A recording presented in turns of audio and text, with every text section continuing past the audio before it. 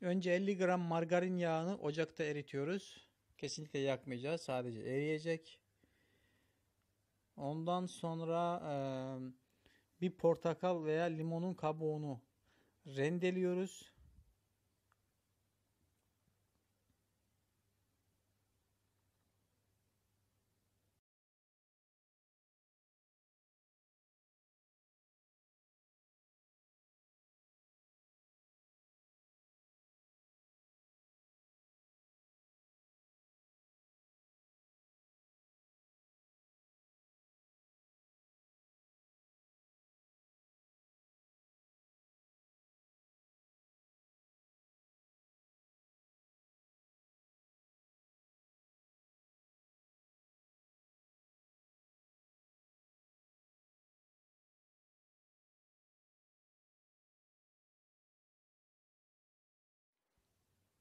Evet, portakal kabuğunu bir kaba koyduk e, kaseye. Üstüne iki tane yumurta kırıyoruz.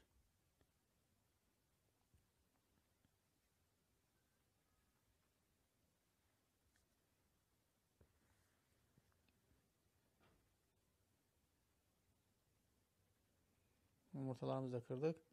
Götürüp eriyen yağın üzerine döküp karıştırıyoruz. Telle çırpıyoruz. İyice çırpacağız telle. Yalnız yumurtayı pişirmeyeceğiz tabii ki. Ee, hafif katı hal alıncaya kadar çırpacağız. Ondan sonra ocaktan alacağız.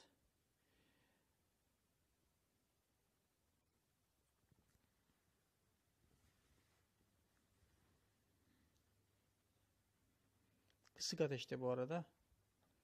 Ateşi daha önce kısmamışım da şimdi kıstım.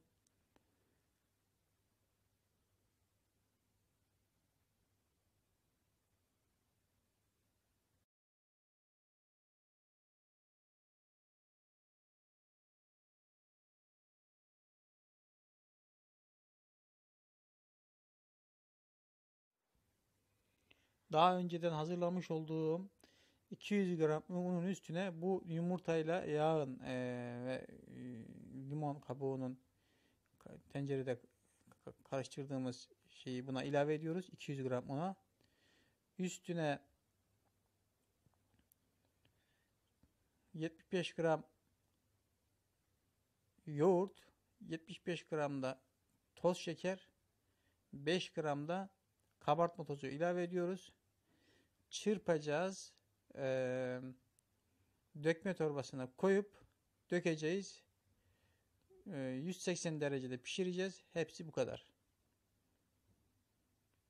Videomu beğenmeyi ve kanalıma abone olmayı unutmayın. Bir dahaki videoda görüşmek dileğiyle. Hoşçakalın.